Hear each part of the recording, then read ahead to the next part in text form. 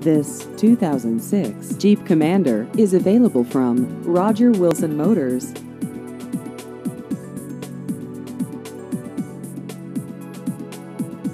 This vehicle has just over 143,000 miles.